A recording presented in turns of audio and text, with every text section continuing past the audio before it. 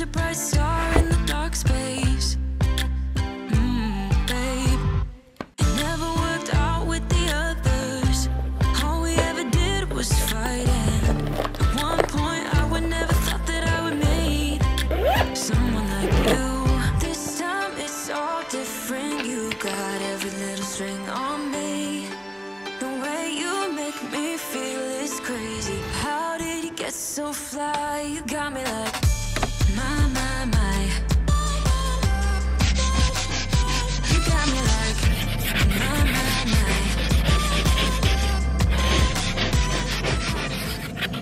Guten Morgen Leute, wir haben folgendes Problem. Erstens mal muss ich die Bahn, also das heißt muss ich, aber ich sollte die Bahn um 51 bekommen, was ein bisschen in den Sternen steht, weil es ist jetzt schon 37, weil mein Auto zugefroren war, ich noch schnell mein Laptop einpacken musste, mein Video so lange exportiert hat. Deswegen bin ich mir nicht ganz sicher, ob ich die Bahn um 51 überhaupt bekomme. Zweitens, wir haben minus 7, oder nee, minus 5,5 Grad mittlerweile. Deswegen habe ich jetzt ein bisschen Stress, aber ich kann auch gerade nichts machen. Meine Scheibe muss erst auftauen. Vorher kann ich nicht losfahren, weil ich sehe nichts. Das ist mir ein bisschen zu gefährlich, weil ich muss ja auch noch einen Parkplatz suchen und von dem Parkplatz muss ich ja nur noch zur Bahn laufen. Ähm, ich kann nur hoffen, dass die Bahn heute Morgen nicht ausfällt, weil weder mein Auto ist getankt, noch habe ich die Zeit, dann irgendwie nach Frankfurt zu fahren. Alles ein bisschen stressig heute Morgen, deswegen nicht wundern, warum ich euch so wenig jetzt mitnehmen konnte oder kann. Ich hoffe nur einfach, das wird jetzt besser hier.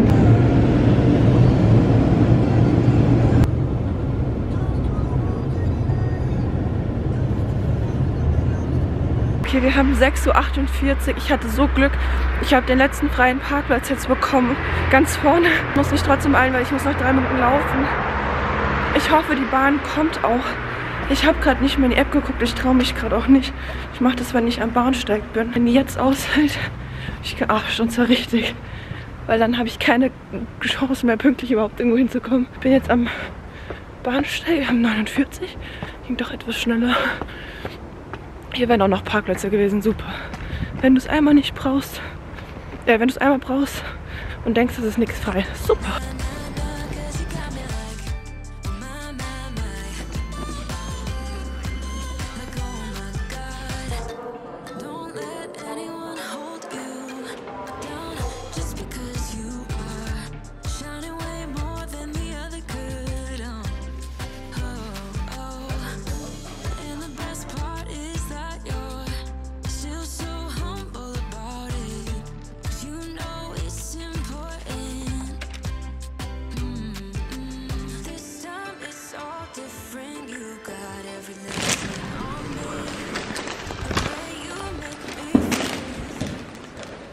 8.33 ich bin viel zu früh.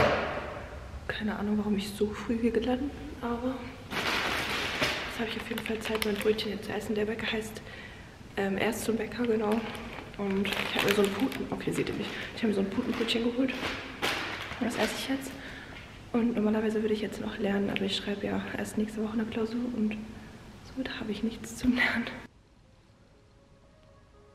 I will do anything just to get you back again. I would do anything at all. Was haben wir in der Schule gemacht? Also ich hatte zuerst LF 4 ist das, glaube ich, oder LF 2. Ich bin mir gar nicht sicher. Das ist auf jeden Fall Kostenrechnung bei uns. Und ja, da haben wir einfach Aufgaben gerechnet und danach hatten wir ähm, still organisiertes Lernen oder wie man das nennt. Auf jeden Fall hatten wir einen Lehrer und wir durften da halt eben Sachen für unsere Präsentation machen oder eben für eine Klausur lernen. Also das ist meistens so die letzte Woche, bevor die Phase endet, darf man halt einfach das machen, was man möchte. Also solange es halt mit Schulsachen zu tun hat.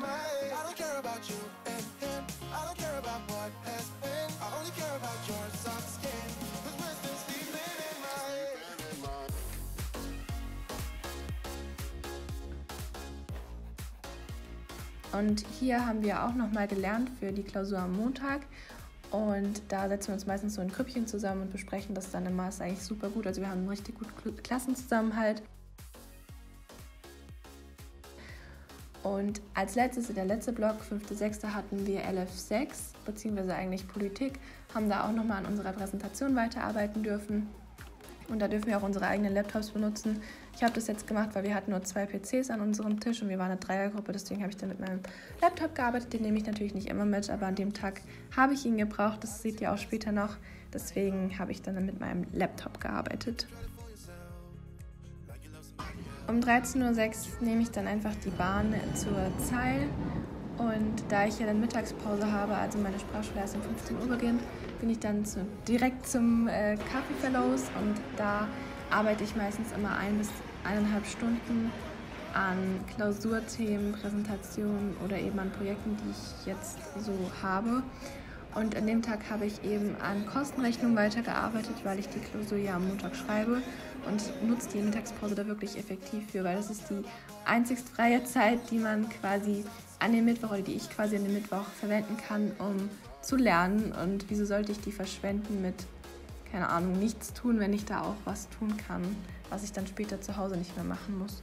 Kann ich euch auch sehr empfehlen. Ich finde Fellows ist immer ein cooler Ort. Starbucks ist auch nicht schlecht.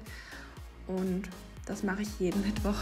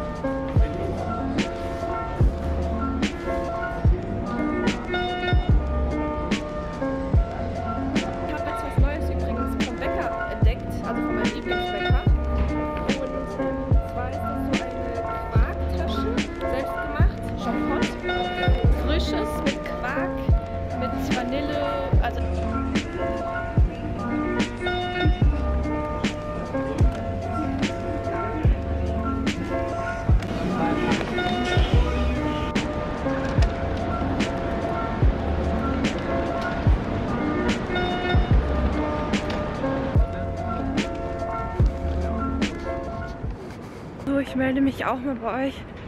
Mein Tag war bis jetzt eigentlich ganz gut. Ich war gerade bei Dina und David, hat mir jetzt was für die Sprachschule zum Essen mitgenommen. Ich habe echt ein bisschen Hunger jetzt. Irgendwie habe ich schon den ganzen Tag total Hunger. Ich war heute beim Bäcker, habe mir ein Brötchen mitgenommen und jetzt noch einen Salat. Zeige ich euch gleich. Ich bin eine halbe Stunde zu früh, was jetzt aber auch nicht so schlimm ist, weil ich setze mich einfach oben in den Raum, mache mein Englisch fertig. Äh, Englisch? Quatsch. Mach mein Provi fertig und dann esse ich halt währenddessen noch. Genau. Und es ist heute so kalt, es ist schon den ganzen Tag total neblig und bewölkt. Und ich glaube, wir haben gerade mal ein Grad, also nicht wirklich warm. In der Schule hatten wir heute, nicht, dass ihr euch wundert, dritte, vierte, freies Lernen, freies Arbeiten. Wir haben eine Präsentation über Fridays for Future, warum wir auch halt Plakate malen. Das gehört zu unserer Präsentation dazu. Deswegen wollen wir das ein bisschen besser verdeutlichen. Und deswegen haben wir so Plakate gemacht. Jetzt bin ich auch schon fast in meiner Sprachschule.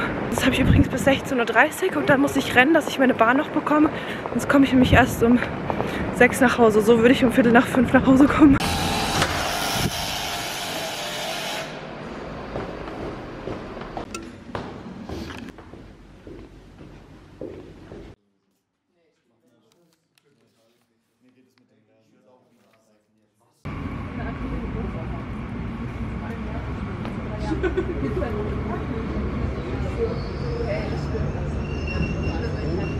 Ich sitze am Bahnhof in Hanau. Meine ganzen Bahnen sind ausgefallen, also wirklich keine eine einzige kam, die ich gebraucht hätte, weil irgendeine Störung an der Oberleitung und es ist wirklich gefühlt jeden Tag bei der Bahn das gleiche. Jeden Tag. Und jetzt habe ich Glück, dass mich jemand abholen kann, weil meine Bahn kommt auch nicht, die mich jetzt nach Hause gebracht hätte. Mein Auto steht halt auch noch am Bahnhof, äh, an dem Ort, wo ich halt heute Morgen losgefahren bin.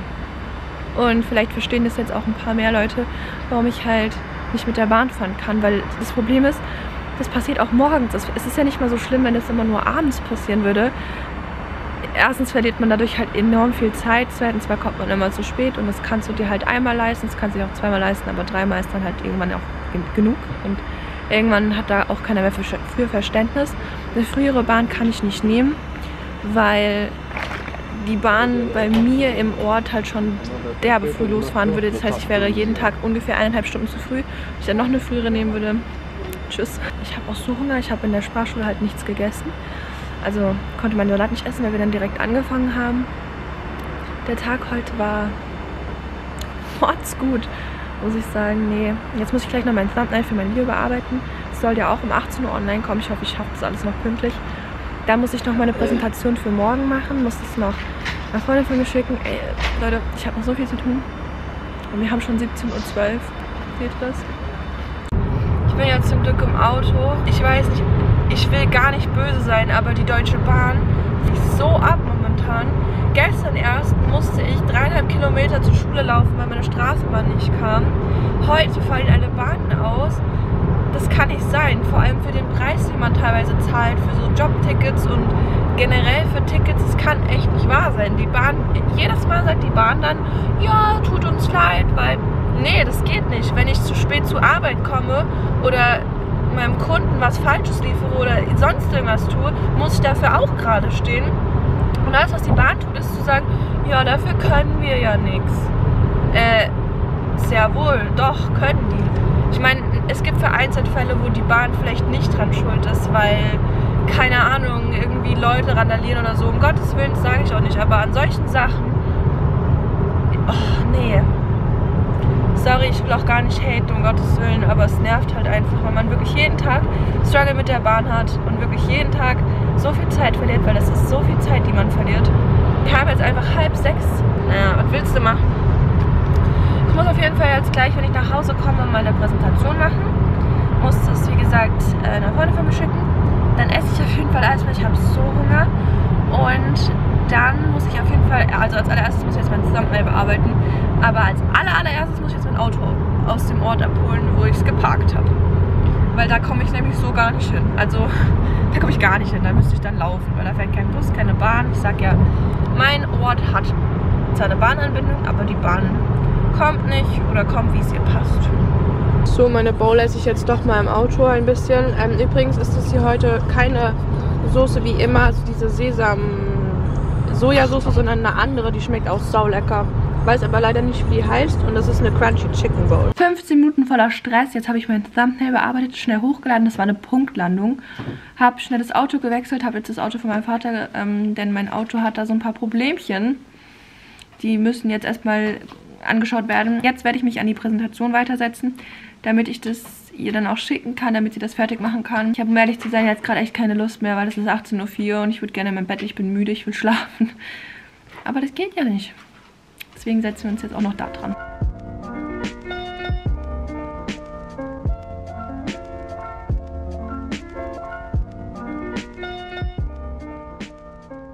So, ich habe mir jetzt schnell meinen Text ausgedruckt, den ich gerade die ganze Zeit hier abgetippt habe. Das ist jetzt übrigens auch schon... Wir haben jetzt tatsächlich auch schon 18.48 Uhr, also ich brauche bestimmt noch eine halbe Stunde, bis ich fertig bin. Oder sagen wir mal 20 Minuten. Aber so ist es halt. Ich habe ja gesagt, Mittwoch ist echt mein absolut stressigster Tag von allen. Ähm, ich schreibe mir mal Stichpunkte raus zum Präsentieren, würde ich euch auch empfehlen. Hier habe ich das schon gut zusammengefasst eigentlich, wobei die noch ein bisschen kürzer werden müssen. Und dann zeige ich euch das, wie ich das mache.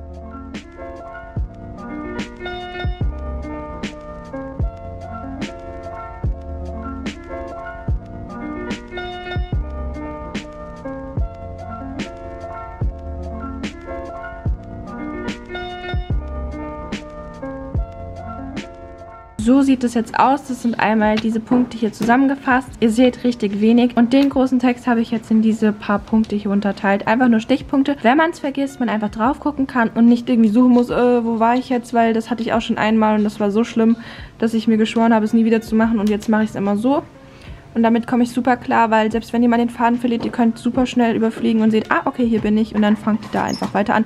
Und mir helfen Stichpunkte auch einfach weiter, als wenn ich da den Text durchlesen muss und gar nicht mehr weiß, um was es geht. Kann ich sehr empfehlen, die Methode.